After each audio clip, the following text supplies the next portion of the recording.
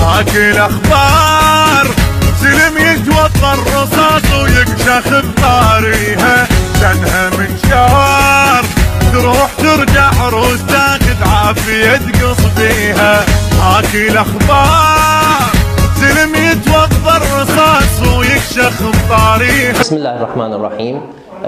نقدم التهنئة والتبريكات لجميع الشعب العراقي بهذه الانتصارات الانتصارات التي حققتها القوات الأمنية والحشد الشعبي المقدس وجميع فصائل المقاومة على قوى الظلام والكفر داعش ومن لف لفهم. آه، هؤلاء نحن اليوم بدورنا آه، جئنا نقدم التهاني والتبريكات لفصائل المقاومة وتشرفنا اليوم بزيارة مكتب ممثلية قوات وعد الله في البصرة.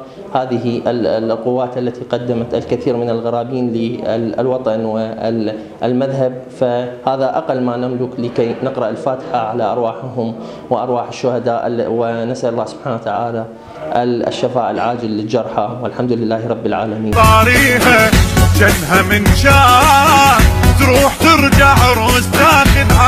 تقص بيها تغيم وعدهم صحت سلم بنتك ما رخت دار سلسات ربخت ملح الحشد عنوانها. رجال وعد بسم الله الرحمن الرحيم نهنئ ونبارك للأمة الإسلامية والشعب العراقي وقوات الأمنية والحشد الشعبي بهذه الانتصارات الكبيرة على داعش الإجرامي وطردهم من العراق. وأنا بالنسبة لي أنا والفريق الراصد الإعلامي جاي نتواصل ويا جميع فصائل المقاومة ونهنئهم ونباركهم بهذا الانتصار الذي حققوه الكبير على داعش الإجرامي.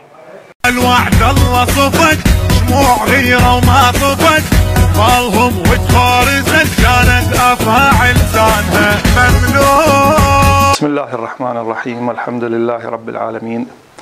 آه، بمناسبة الانتصارات التي حققتها القوات الأمنية وقوات الحشد الشعبي على قوى الظلام والشر داعش. طبعا استقبل مكتب قوات وعد الله بالبصرة العديد من المهنين بهذه الانتصارات.